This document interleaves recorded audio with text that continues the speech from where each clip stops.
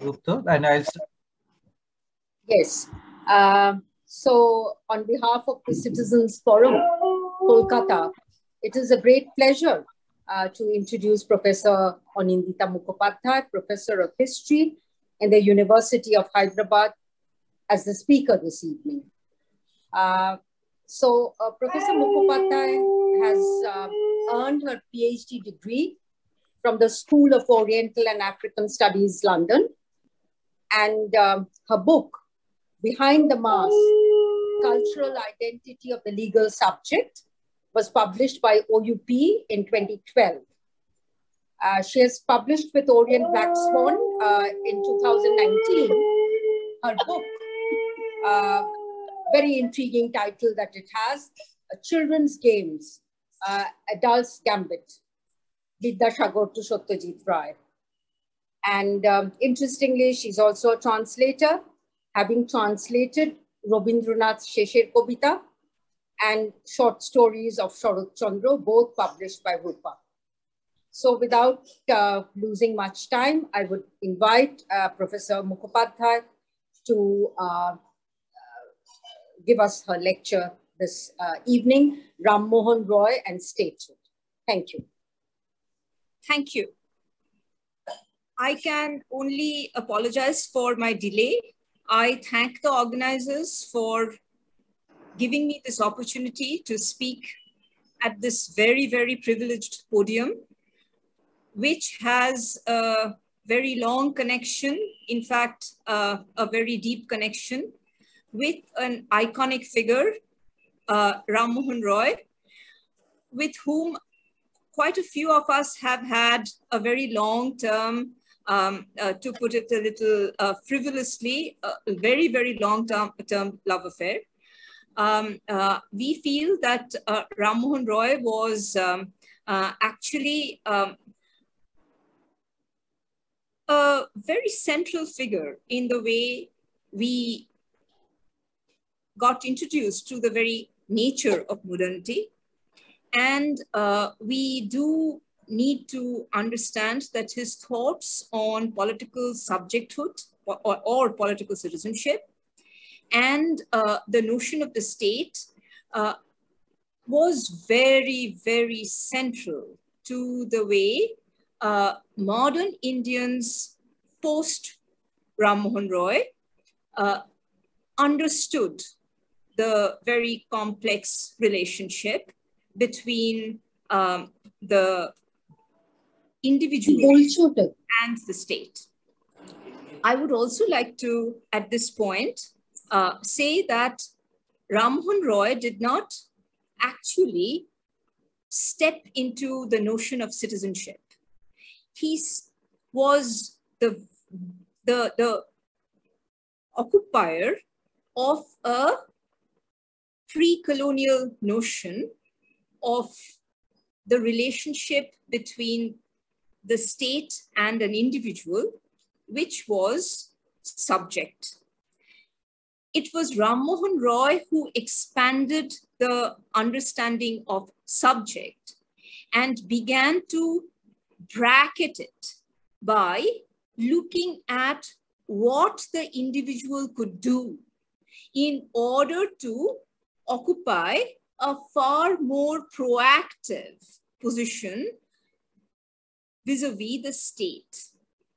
He also, for I think a very important modern perspective, understood that the state is not necessarily positioned in the body of an individual, however venerable the genealogical tree of that individual may be in this case, the Mughals.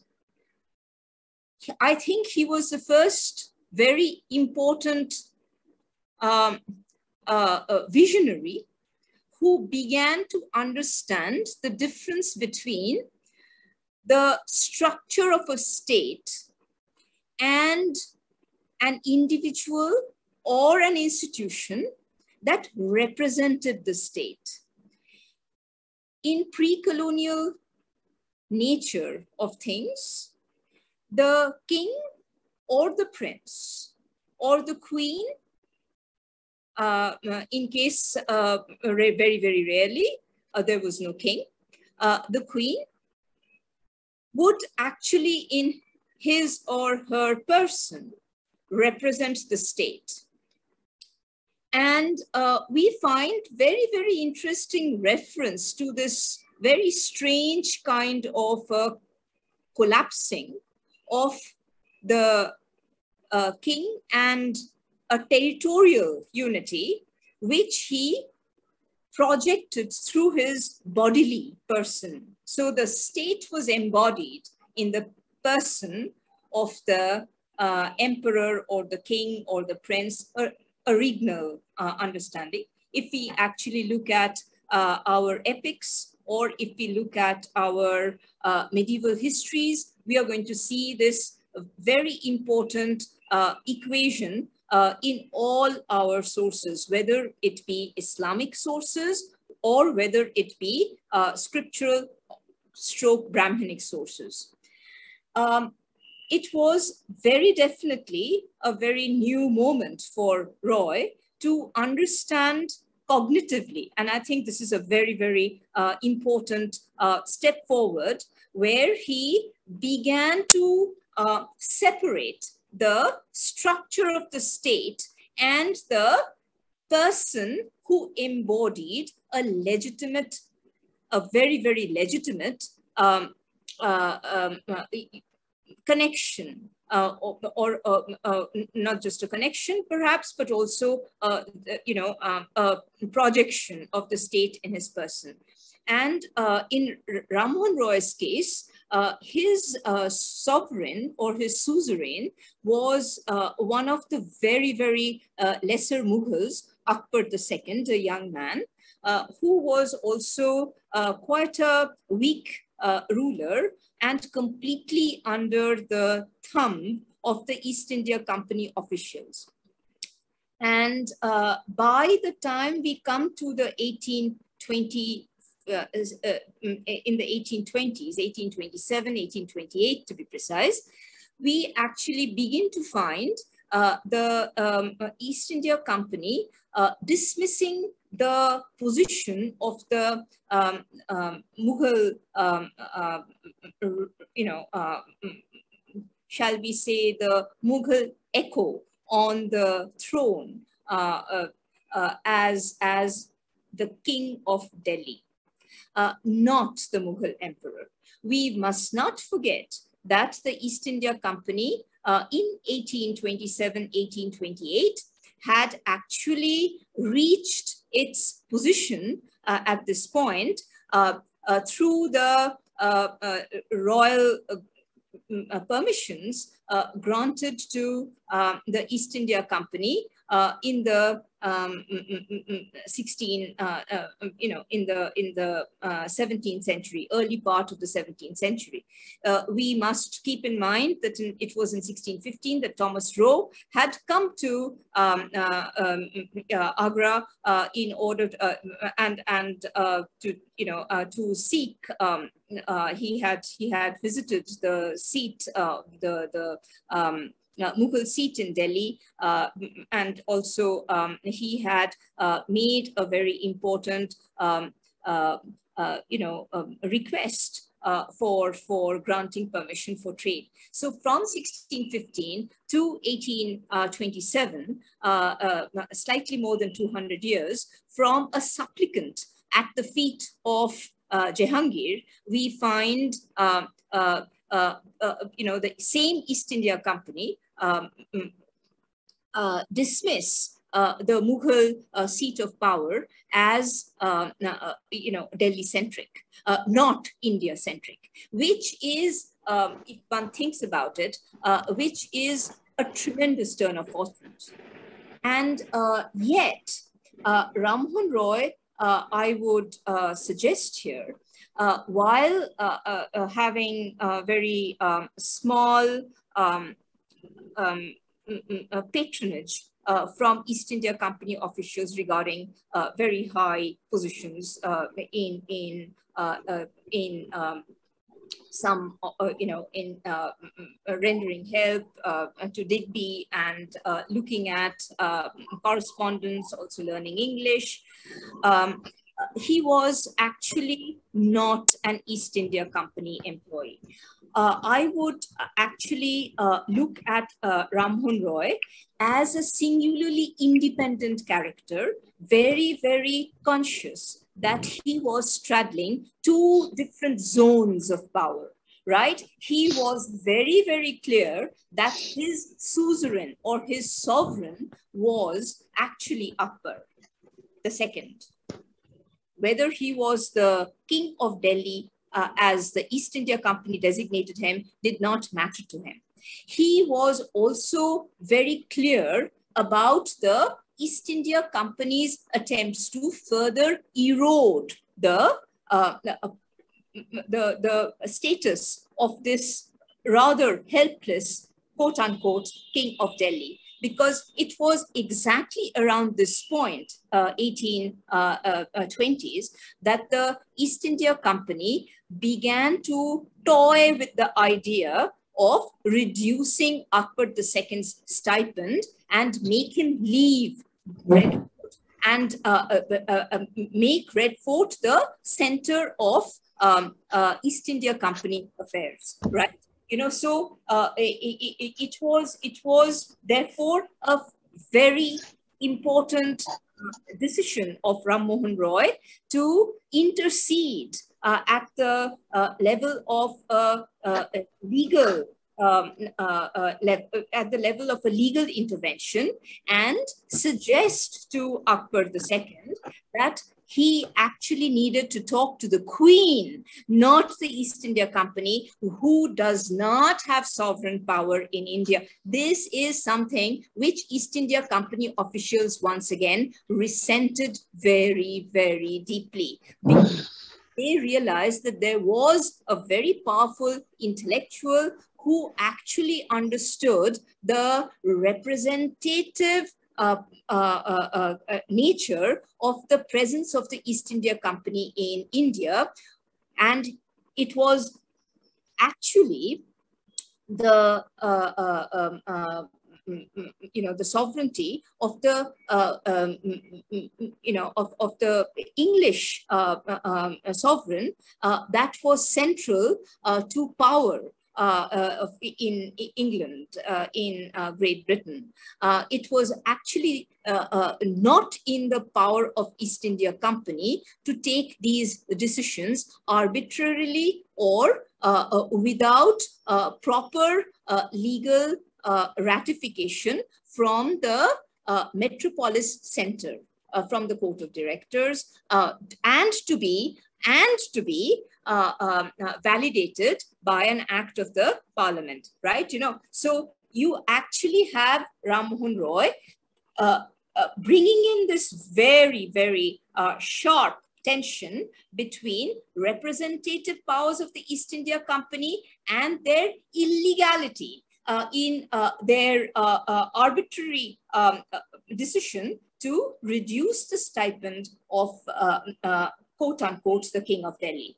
And uh, it is uh, on the behest of um, uh, uh Akbar II in the initial period that um, uh, Roy was, uh, you know, officially employed um, um as the representative from the Mughal court to talk to the British sovereign and very, very importantly, and uh, to uh, uh, make uh, uh, uh, clear uh, the, the nature of the uh, treaty uh, that had been drawn up in um, you know you know through the through the last 70 80 years which had absolutely no word in it of slashing stipends or uh, taking away the honorific of the Mughal emperor, right? So these are very important,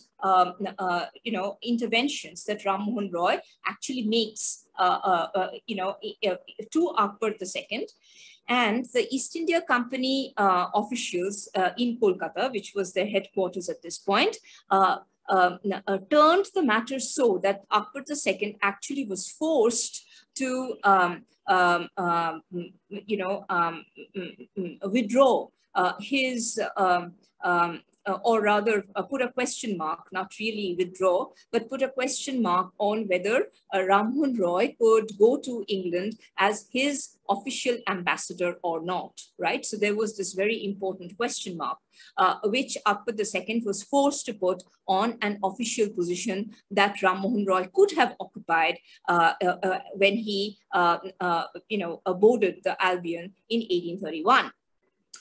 Uh, and uh, this was, um, um, uh, you know, finally, uh, you know, Ram Mohan Roy, uh, uh, quite clear that he was being hamstrung by the East India Company officials and perhaps his departure to England, he was very, very keen to actually see the procedures, the uh, uh, uh, you know the representative uh, uh, political procedures in the parliament. Uh, he wanted to see the reform bill debates being you know being thrown open in the um, parliament, in the House of Commons, in the House of Lords, and therefore he was very very um, uh, keen to uh, leave behind these nitpicky, um, uh, you know, um, debates uh, whether he could go as ambassador or not, and he decided to go as a private individual, but he promised Akbar II that he would anyway without, with or without uh, the official uh, position, uh, uh he would uh, represent his case, which he did.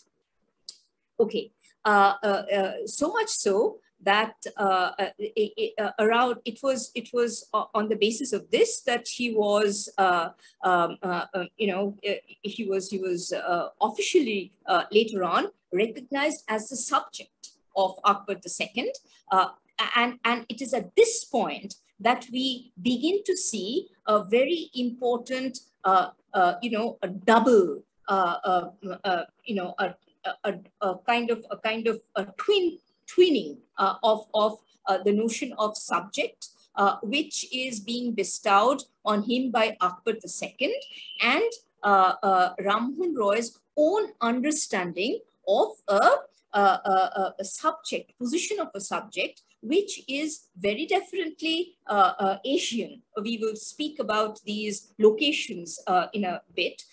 It, not only you know, uh, mm, mm, mm, you know, uh, is it is it a very Asian concept because he is very clear that in France, in England, it is not, you know, just the position of a subject that people under these Western countries occupy.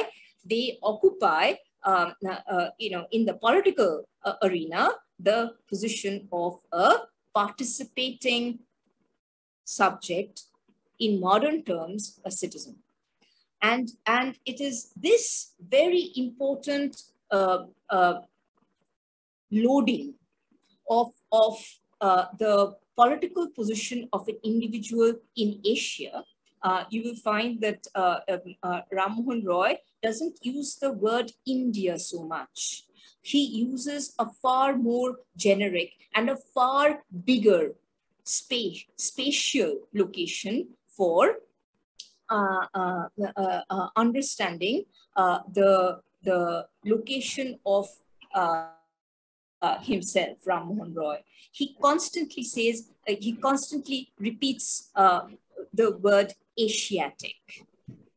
He constantly repeats another very important uh, Western reference, which is Oriental, right? So please do remember that these are um, uh, uh, very important notions of space, very important notions of territory.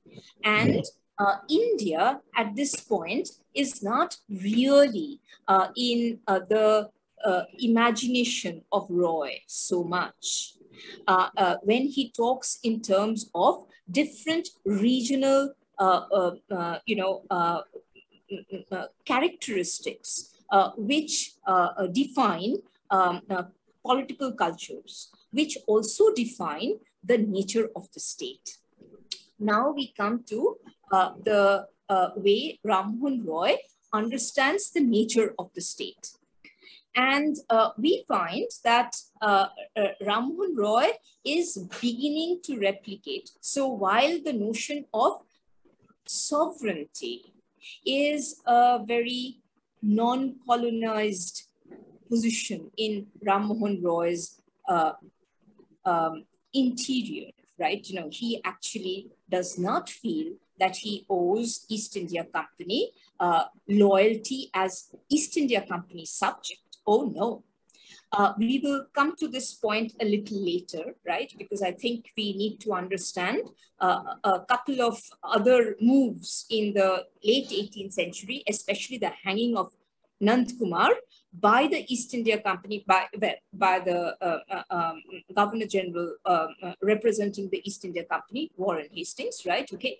And uh, Warren Hastings had, you know, had, had mm, mm, you know, uh, passed the sentence uh, on Nand Kumar uh, uh, uh through the machinations of uh, Impey, the Supreme Court uh, judge, influencing him very heavily in order to settle scores with Nand Kumar. So it was actually Warren Hastings who was responsible for the public hanging of Nand Kumar, a Brahmin. Uh, uh, which was also uh, seen to be quite, so this was in 1775, um, uh, uh, uh, almost 50 years after, you know, Raja Ram Mohan Roy um, um began to cogitate on the notion of what was or who was a subject and what did subjecthood entail for the position of an individual vis-a-vis the state. And we find that in uh, uh, uh case, uh, uh 50 years uh, pre previously, slightly more than 50 years actually, uh, we find that uh, Nandkumar also makes a similar uh, case that, you know, the East India Company has no right, no legal right to sentence him uh, to death uh, because he was officially uh, and and uh, uh, um, uh, you know you know you know not just and you know through his own loyalty he was actually the subject of the Mughal emperor. And it was um, you know, a very quiet legislation passed three years before, which actually dictated, so this was actually a residential uh, uh, charter, which said that any uh, resident of Calcutta uh, uh, who had uh, bought property you know, um, on on the the uh, a site of Kolkata, territorial sites of Kolkata, would automatically fall under the jurisdiction of the East India Company. And Nand Kumar did not know this.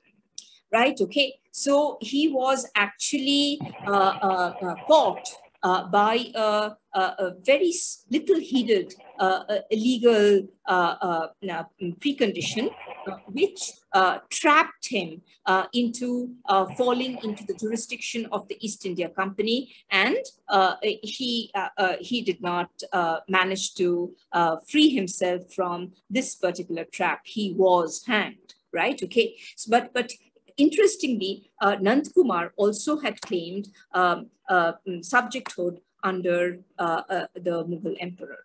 And we find that Rammohun, 50 years down the line, is also beginning to uh, uh, uh tread both as uh, the uh, subject of the Mughal emperor or the king of Delhi, take it as you will, and also uh, having the intellectual confidence to uh, advise the uh, uh, uh Mughal uh, emperor to take his case to the um, source of British power, the king.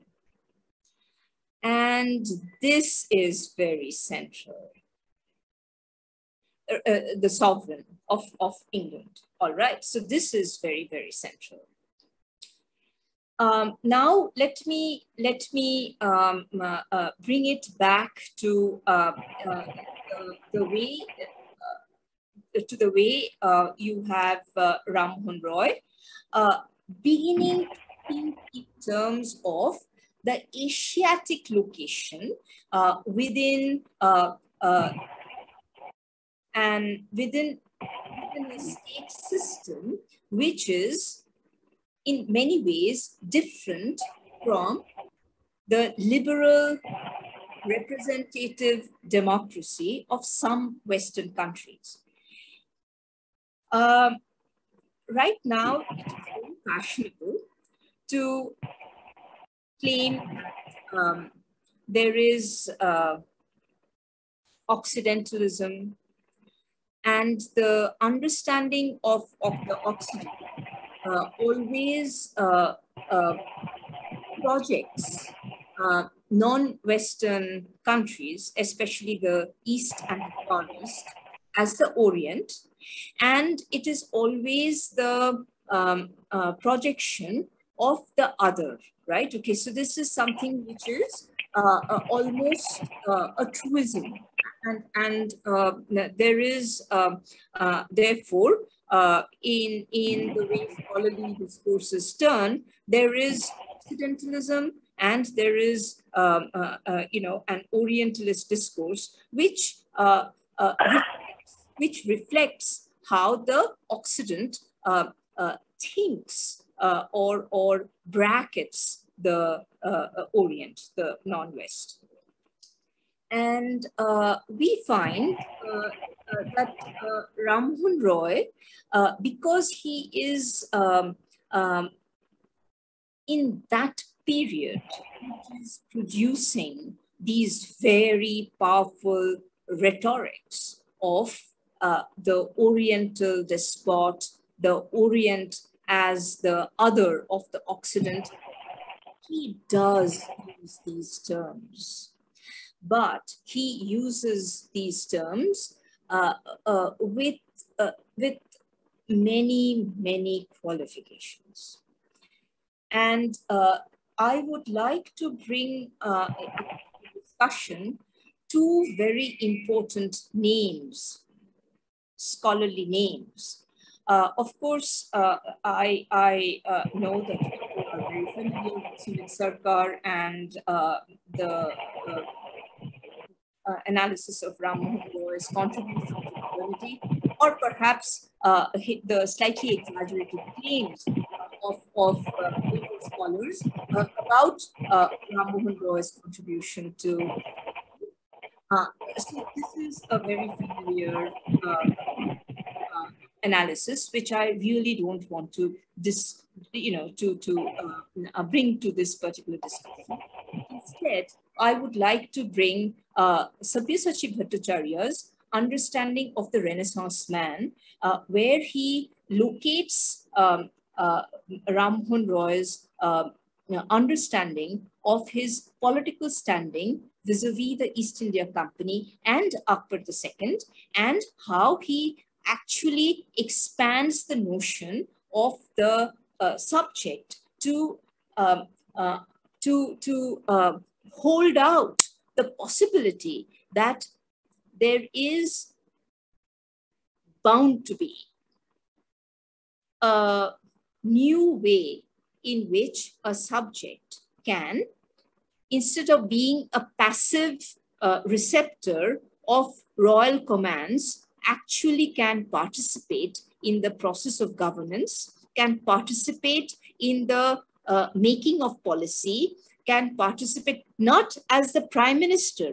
not as the uh, uh, uh person uh, close uh, to the seat of power, but as an ordinary person who can use the new public space, can use the new print culture in order to build up a new understanding of the civil.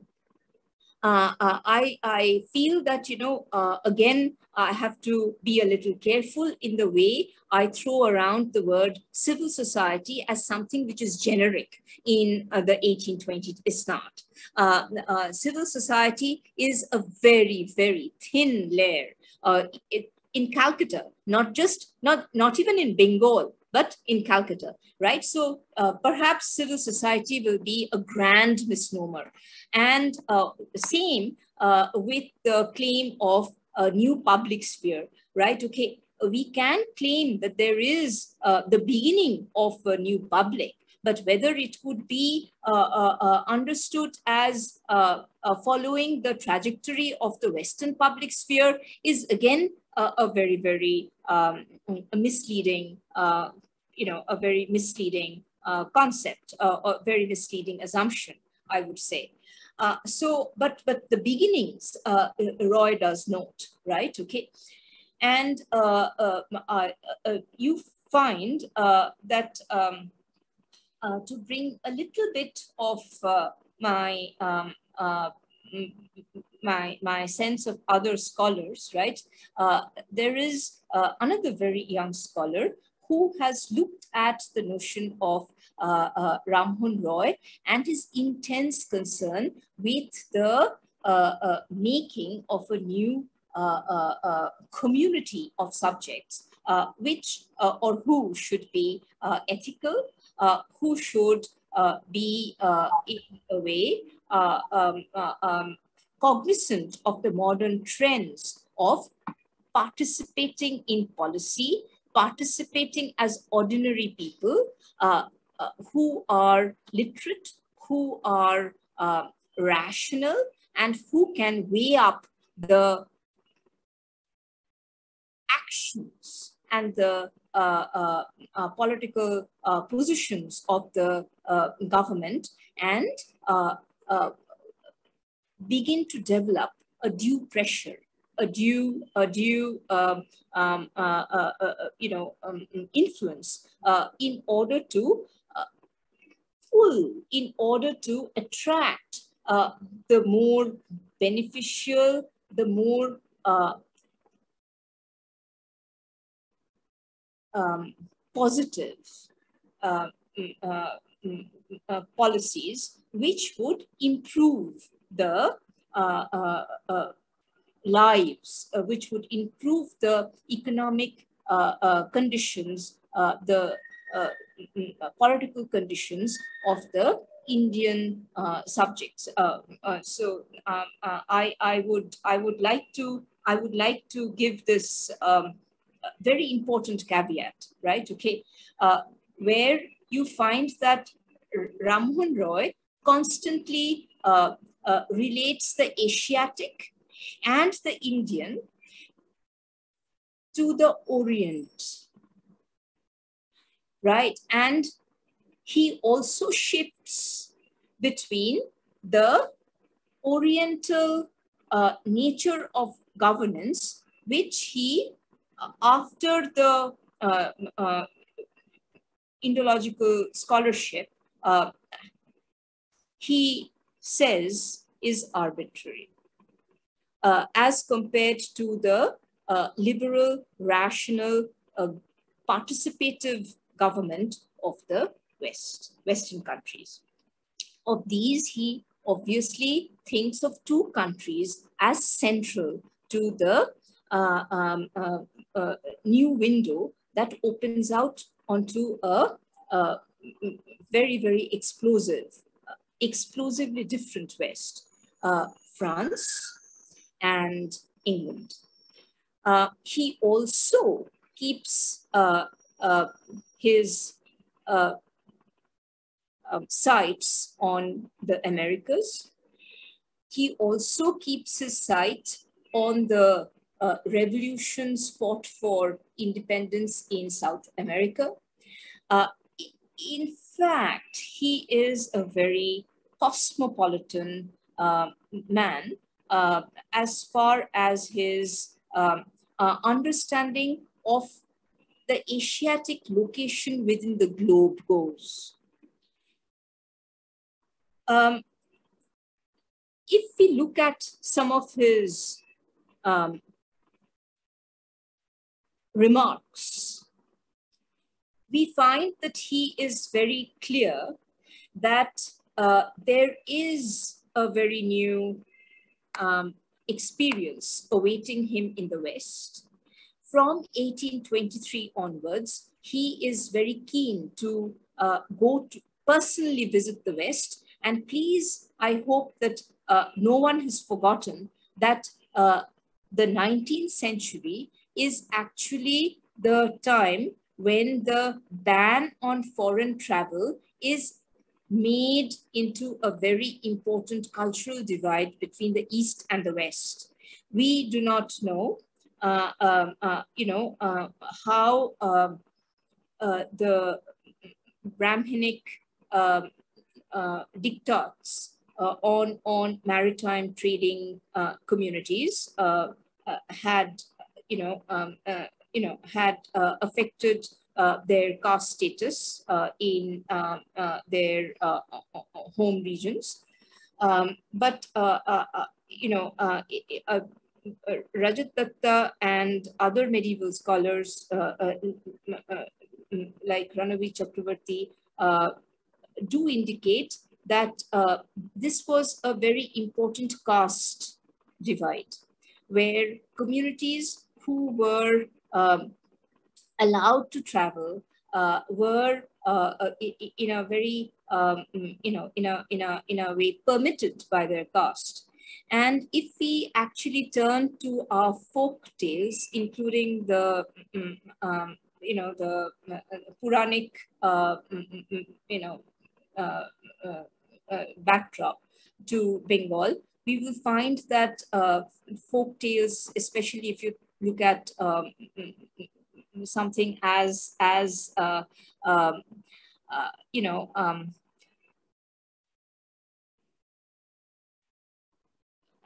how shall I put this? Something as uh, uh, uh simple as fairy tales uh, written uh, in the early um, 20th century, late 19th century. So Dada Mushat Thole, um, or, or say Thakumar Jhuli, you will find that travel and, and uh, uh, trade are always linked right? Okay, and if you also look at um, uh, Behula Lakhindar's uh, lore, you will also find that Chand Saudagar, uh, uh, you know, is is a trader, right? Okay, uh, so there is this uh, there is this uh, very important connection of uh, the license to travel and um, uh, the fact that they are traders, right? Okay, uh, we do not really get to see a very important aura of um, permission given to um, upper, really, really upper caste,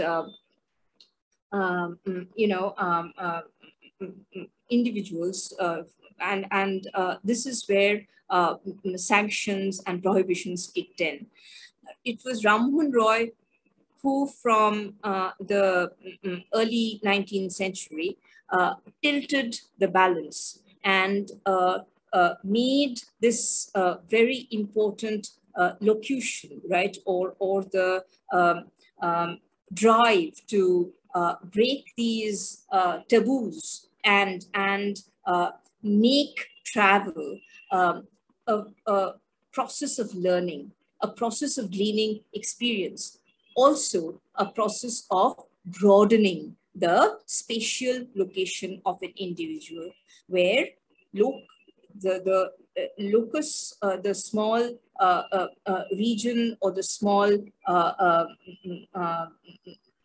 you know, um, village is expanding into, uh, into the world, into the globe, uh, uh, and and uh, uh the relative position of of uh, an individual vis-a-vis this this enormous space which mm, an individual cannot encompass physically um, or or logistically you know is also part of a material reality this is a, a, a very important uh, Roy, uh, you know, move, uh, which uh, opened up the possibility of, of uh, um, expanding the possibilities of the individual who would, uh, you know, stretch out and who would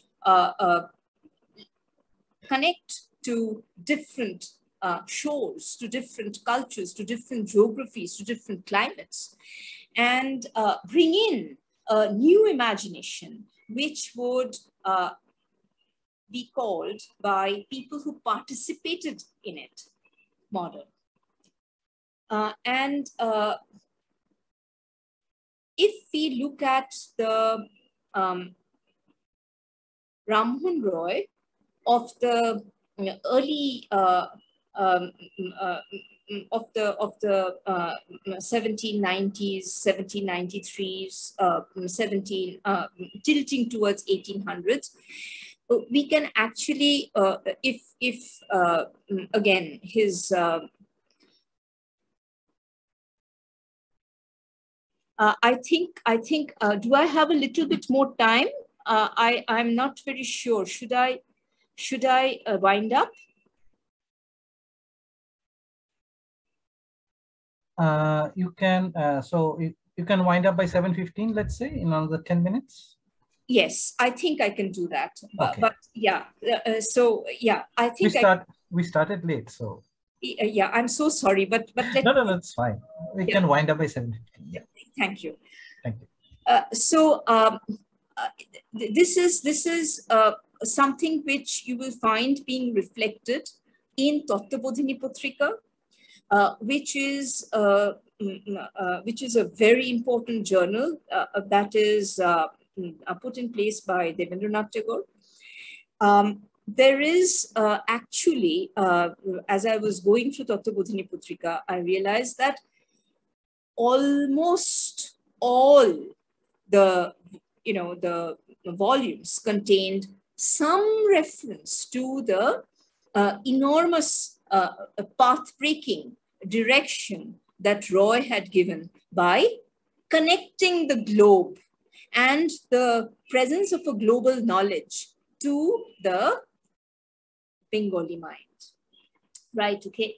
And uh, while Tattvabodhini Patrika seems to be more uh, for uh, a religious, for a spiritual uh, quest, but somewhere uh, it also reflects uh, the enormous expansion in the domains of, of knowledge that the Bengali mind was exposed to and the very important bursting in, uh, exploding almost uh, into Bengali consciousness of a very different set of uh, uh, uh cultural uh, realities that lay outside of uh, uh, the Bengali experience. And uh, uh, again, if one looks at uh, um, the biographies of Ram Mohan Roy, if one looks at his letters, there is an enormous stress on how the developed West, and unfortunately, um, I, I feel that Ram Mohan did have a, um, uh, have a, a, perhaps a qualified opinion about the advances made in the West as compared to the um, Indian story. At the first instance, at the level of received knowledge, he located the nature of the popular culture or the people. And he somehow, uh, before going to the West, uh, he had formed the impression that the general population in England or in very developed Western countries, France, for instance, actually had 100% literacy and quote unquote, coachmen read newspapers while waiting for customers to climb into their carriages. And if you think in terms of the time period, 1823, uh, there is an almost mythical element to this habit of reading. Uh, writing reading and the following, forget participation, but following of the political trends as a general feature of a culture was for him an enormous development against which he places the benighted condition of the illiterate masses of Bengal. And I would like to say that he does not actually refer to India. He actually talks in terms of the illiterate masses, right? Okay, uh, of of uh, uh, uh, uh Bengal, or you know, and and he is uh, very very struck by the fact that um, liberal representative democratic process, which orders the political in England, is completely missing in India. And the young scholar, uh, Shomik Dasgupta, who is also looking at Ram Mohan Roy through a, a, a very open uh, lens, uh, which does not look at his uh, uh, limits or looks at his, um, uh, you know, um, retractions of a more radical position, which is what Sumit Sarkar is, you know, um, kind of talking about, where he, uh, Sumit Sarkar would uh, look at uh, uh his uh, uh, as a very radical text, which looks at, um, you know, um, a, a, very different understanding of a godhead, which comes from intellectual following of the Islamic uh, civilization, Islamic notion of Godhead, and uh, you know the the later Brahminic uh, um, mm, mm, scriptural uh, mm, position, which he pulls out to to attack sati as a custom, uh, where uh, you know a far more conventional um, space is accorded to um, uh, the locus standi of uh, scriptures like Manusmriti uh, and other texts, right? Okay, and he considers uh, these two positions uh, to be to be actually very different. the earlier, you know, stress on monotheism coming from an indigenous culture uh, uh, which uh, blends together a, a, very radical intellectual position and, you know, the Islamic um, influence veers to the Brahminic and the scriptural tradition in order to attack, you know, a, a very, very um, evil uh, social right, uh, religious right. Um, and uh, you know, uh, instead of going this way, uh, uh, uh, Shomik Dasgupta is turning the argument towards the possibility, the, the future possibility of using the language of Ram Mohan Roy's understanding of a community who would be rationally uh, uh, you know, empowered to think for oneself, but in an ethical dimension. Uh, religious uh, uh, for for uh, Rammohan is not necessarily dharmic. You know, it, it does not. It looks at a pathway, a pathway of an ethical self that would constantly be um, based upon um, a very important notion of what is just not right. Uh, uh, uh, uh Mohan Roy's uh, understanding is not a right-based or an entitled-based uh, understanding of subjecthood.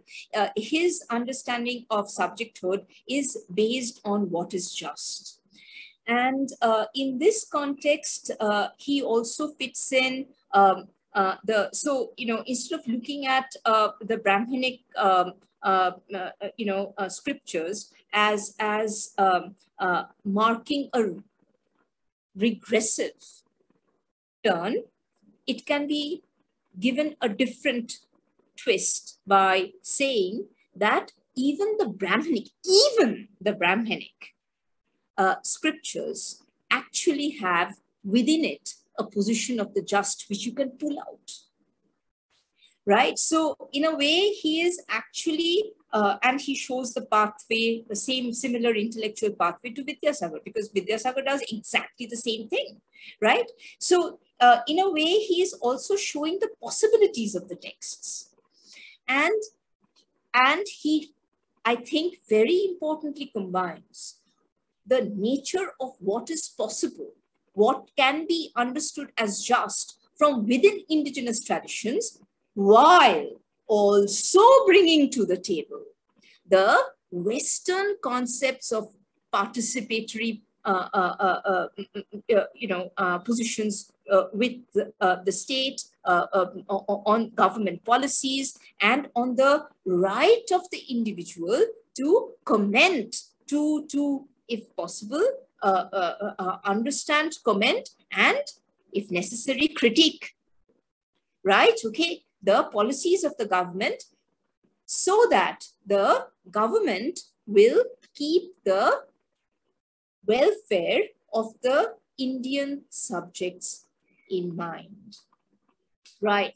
And he, uh, following Western traditions, feels that criticism, criticism is not, is not, is not sedition. Criticism of the government's policies is not. If we shift the locus a little further, we can say that it is not anti-national, right? It is very modern. It's an extremely modern observation that criticism is not sedition. Dissent is important and it will never bring down the affection for a government. And he constantly gestures to Western nations where a fully literate reading public can comment, can even criticize the sovereign and the government. Remember, he has separated the sovereign and the government and still be loyal, still be patriotic, and still be a true British subject. Similarly, any kind of criticism in India especially following the 1823 suspension of uh, the freedom of the press. This is what pinched uh, Ram Mohan Roy the most because he felt that civil liberties were the biggest rights, the biggest freedoms that the Indians had got, even though they had lost political freedoms. Mr. Mukhopadhyay, I'll ask you to wrap up now. Yes. You have already gone to 720. Yeah. So this is uh, so this is where I I uh, draw a line, and he actually said that despite the arbitrary nature of quote unquote Oriental despotisms like the Mughals, like the Muslim Nawabs in Bengal, they had always given political liberty. But it was the loss of political liberty which had entitled the Indians to claim civil liberties, which are very important entitlements, right? So here we come to a very important synthesis of the just, the nature of the just, and the important rights of the citizen subject as a modern concept for Ram Mohan Roy. I hope that was clear. I hope that was um, uh, connected uh, despite the slightly uh, delayed uh, mm, appearance of the speaker. I really apologize for that. So thank you, thank you, Professor Mukhopadhyay. So thank you, Professor Mukhopadhyay. Uh, thank you for giving us this most illuminating talk on Ram Mohan Roy and statehood. If there are any questions from anyone, uh, they can unmute themselves and ask the question to Dr. Mukhopadhyay.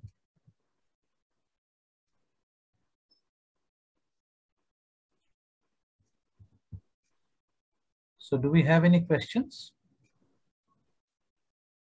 Um, oh dear. If anyone has any question, they can unmute and ask. I will check the chat. Uh, there was no nothing relating to a question over there. So, so since we do not have any questions, may I request Dr. Gurudas to kindly sum up? Yes, thank you very much.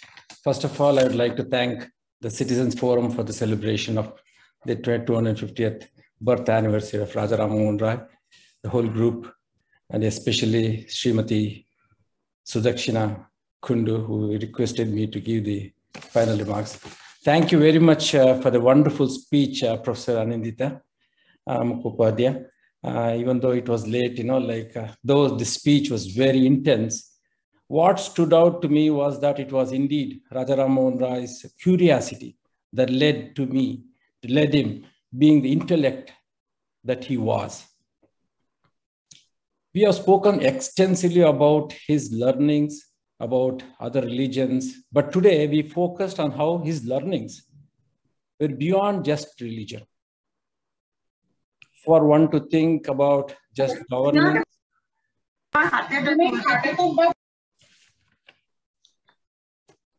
Yes, please.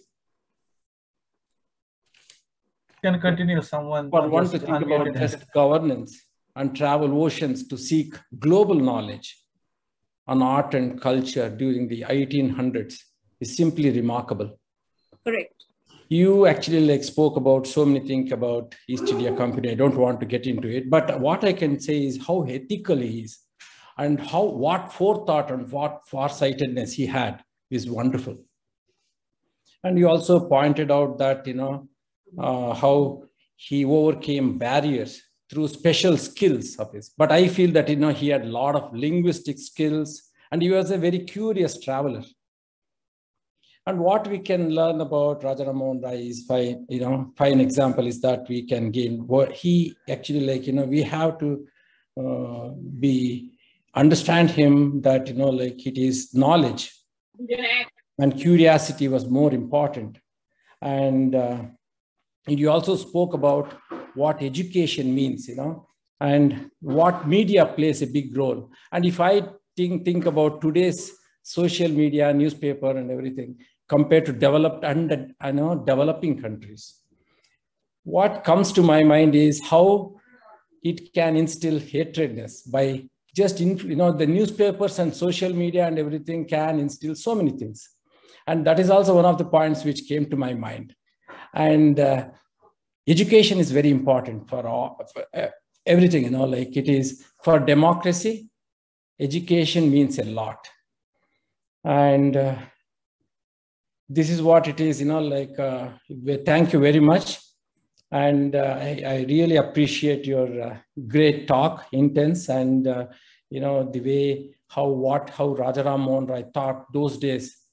He had that farsightedness, you know, like he had, he knew what is going to come up today for India and how actually like, you know, he worked for it. He traveled in spite of the barriers. He traveled to England, he traveled to France, he learned so many things and uh, it's amazing. Thank you very much, madam. Thank you. Sir, can I respond to your comment? I, I, I found it so interesting because you actually spoke about his you know, poly, he, he, was, he was a linguist, right? You know, yes, yes. Uh, before he traveled to France, he actually learned French, uh, number one. And number two, uh, he actually commented um, in a very, very critical way uh, on the new custom uh, the new uh, mm, um, mm, political mm, uh, procedure of all visitors to France requiring a passport. This is 1832. And oh. he said a despotic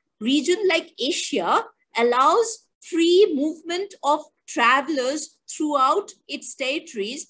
How come such an advanced Western country like France makes uh, uh, the traveler uh, go through this this this uh, new uh, you know process of uh, uh, getting a passport. So there is this uh, there is this enormous critical faculty which um, Roy Raja Rammohun Roy brings to not just travel, but also engaging with the different uh, political um, uh, uh, philosophies, political cultures of Western countries and yes. critically assess. Uh, yes. He is not, he doesn't consume modernism. He is, he is critical. He is highly critical. He actually uh, does not uh, go by the projection of what Westerners say about the West. He is constantly weighing up what the Westerners have said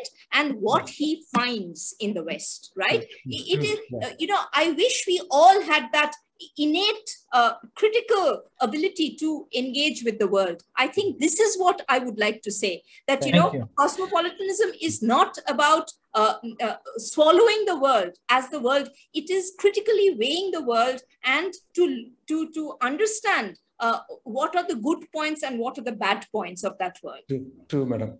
Thank you so much. Thank you so much. Thank you. So thank you, Dr. Gurudas. Thank, And thank you, sir. Thank thank you everybody for patiently you know uh, joining waiting for the session and then hearing out professor mukhopadhyay it was really an enriching session for all of us and we hope to have such sessions in future as well thank you once again and i'll end the session over here thank you so much. Thank you. Thank you. Namaste. Namaste.